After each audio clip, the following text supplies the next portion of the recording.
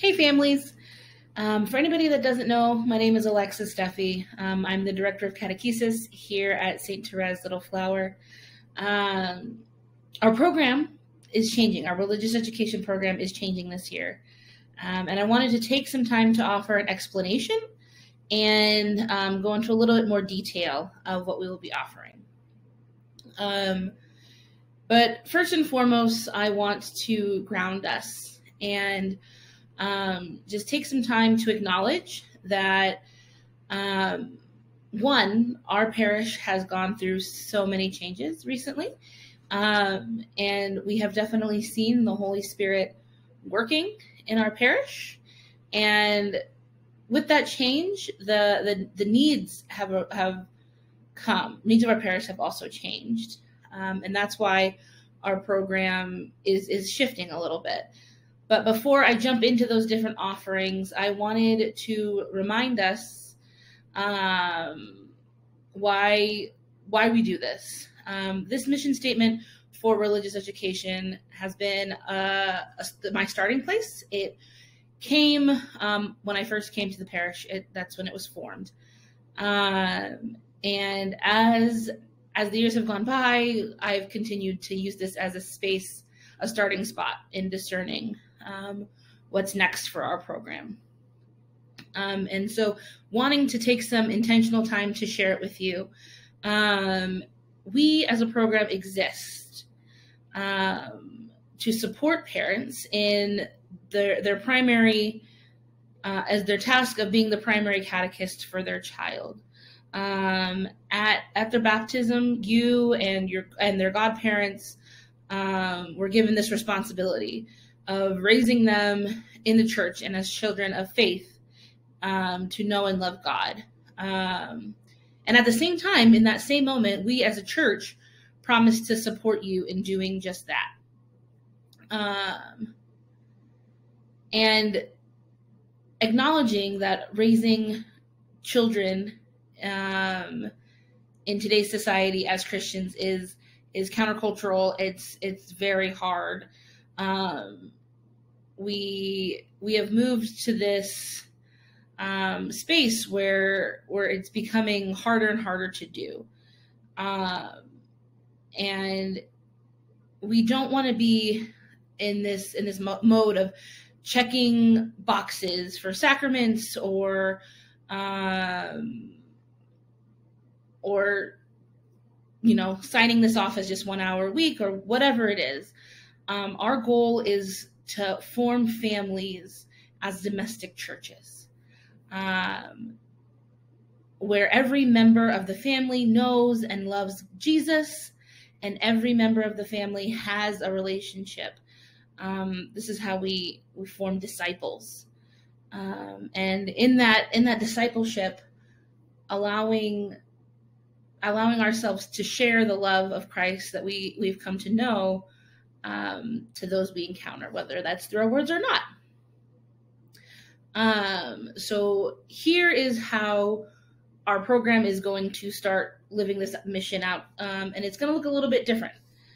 Um, we are transitioning to um, a three branch system. Um, we have had catechesis of the Good Shepherd um, We've had an atrium for a very long time. Um, and it would started out as just a level one for children starting at the age of three. Um, then, as they grow up, we um, we would transition them to a traditional classroom setting. Um, last year, we were able to expand to a level two, which is serving children um, in first through third grade um, and this year, we are expanding again to level three, which is exciting and awesome. Um, at the same time, we are launching a family catechesis program where we bring parents in. This is a a very real way that we intend to support families in this, particularly parents in this mission, to um, be the primary catechist for your child. So we are bringing families together to go through this content um, and as your child approaches their confirmation, years, they will enter into our new two year confirmation prep. Um, and I want to take a little bit of time to dive a little deeper into each of these branches, um, starting with our catechesis of the Good Shepherd. Um, catechesis of the Good Shepherd is a Montessori approach, based approach to catechesis. Um, children come and work with different materials, um, and when in working with them, it the goal is to help them contemplate um, the life of Jesus, the parts of the Mass, the history of the Kingdom of God, and so many other beautiful um, truths of our church. Um, we transitioned last year to our where our first reconciliation and first communion prep was done in the style in the method of catechesis of the Good Shepherd, um, and that will continue this year. Um, and I, I, truthfully believe that this is a beautiful um, witness and a beautiful way to enter into to the reception of these sacraments. Um, so this fall we will be offering all three levels of catechesis of the Good Shepherd at our parish. Um, there has been some, some losses and some changes in our ability to offer them at times. So we will not be offering a CGS session after the 9 a.m. Mass on Sundays. Um, that is a very long-standing tradition where after the 9 a.m. Mass was religious ed. And I know that this is probably going to be the most difficult change for families. And I, I acknowledge that. And I am here to work with whoever, um, however I can. But we'll be offering levels one and two on Sunday afternoon, um, following the 11:30 mass. So the session will be from 11, from 12:30 to 2 p.m. Um, and then we are able to offer levels one, two, and three on Monday evenings, um, starting at 3:30 from 3:30 to 5. So if your child is in preschool age three, starting at age three, through sixth grade, um, there is options available to be in our catechesis of the Good Shepherd. Um, in in the coming years, I really do hope to offer levels one, two, and three on the weekend, um, but particularly um, level three on Sundays. There is no option for level three on Sundays, which I do also realize leaves no Sunday option for our fourth to sixth graders. Um, and so, in an effort to help families who can't commit to coming during the week, um, we are also launching our family catechesis program. Now, my plan has always been to start family catechesis at our parish. Um, I truthfully think um, that family catechesis is a vital part of offering a well rounded catechetical program. Um, but in, um, in an attempt to try in an attempt to offer families things that can work in our busy schedules, I we're going to launch the expansion of CGS and family catechesis at the same time. So a little bit more of an uh, explanation of what family catechesis is. It is mostly at home.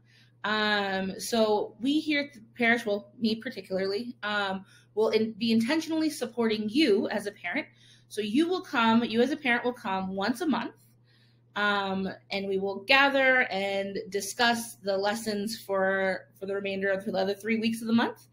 Um, and we will have time where parents can talk about activities or share um, other things about living this liturgical life. And then the rest of the month, you as a parent will guide your family through the content. Um, again, I do recognize that this is a shift. Um, and I do want to respect and honor the feelings that come with that. However, just like this is the option, the best option that we can offer. And um, I I think after giving it a try, we might see that this is super beneficial for our for all all of our families.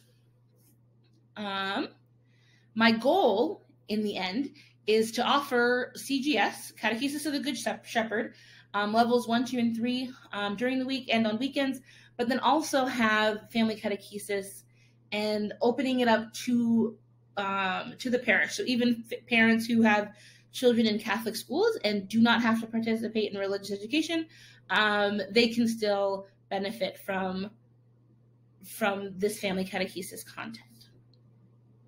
Um, so as your child gets ready, um, gets a little older and gets ready for the confirmation, we will be they will be entering our two-year confirmation prep program. Um, so this program is going to be two parts. Um, it will start in the seventh grade, um, and in seventh grade they will be meeting monthly, and the their catechist will meet them. We're going to be going to different homes of parishioners um, in the evenings during the week. So it will be, I think this year it's going to be Tuesday evenings. Um, and we will gather at five o'clock.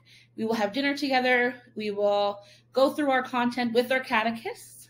Um, and then in seventh grade, they will also be participating in the Theology of the Body conference. Um, and that's a diocesan requirement. We have to um, teach that content to our seventh graders, and so that we, we will do that. Um, as your child moves to eighth grade, they will continue to meet monthly at parishioners' homes um, with their catechists, but we will also add um, once a month service Saturdays. So we will all gather and do a service project as a group together um, and talking about how how we can better live out our call as Christians uh, to serve. Another diocesan requirement is a retreat. So the eighth graders will have an eighth grade confirmation retreat. Um, with these shifts and changes, we are attempting to walk with the whole family. I desperately want to move away from this um, this program where parents aren't aren't a part, aren't welcome, or, or not welcome, but aren't a part of catechesis. Um, your child will learn more from you than they ever will from me or from any other catechist. Um, and that's a beautiful thing. Um, and so I'm hope my my hope and my prayer in these changes is that we are better able to integrate um, catechesis throughout the entirety of your family. Um, and we will walk together as we all try to raise these tiny little Christians into big adult Christians. Um, so that that is our offerings for this year, and a little bit more of an explanation. I am so happy to uh, answer any questions you may have. Um, and I, along in this video, I'm sending the registration link. So please feel free to register your children. Um, I will see you soon.